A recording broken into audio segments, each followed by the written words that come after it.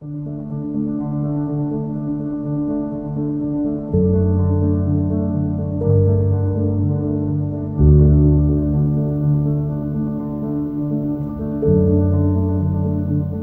작업은 제6의 대멸종에 대해 이야기합니다.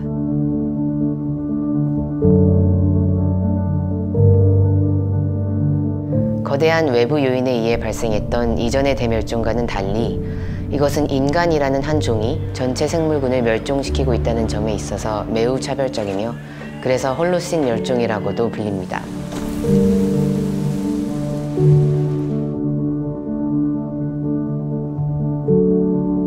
우리는 광범하게 벌어지고 있는 생물들의 멸종을 외면하고 있습니다.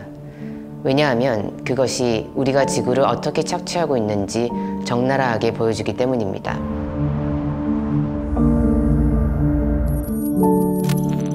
하지만 지속 가능한 미래를 위해서는 우리로 인해 멸종을 맞이한 무수한 생명체들에 대해 고민해야만 할 것입니다.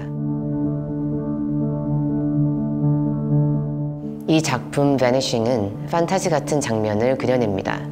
폐와 같은 지형에서 드러나는 화석화된 날개와 미지의 생물은 초현실적입니다.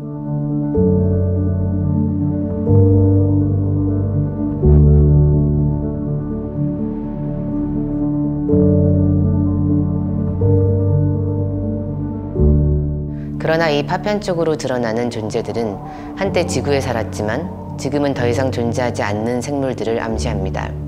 이 작품은 인류로 인해 사라져가는 삶들에 대한 헌사입니다.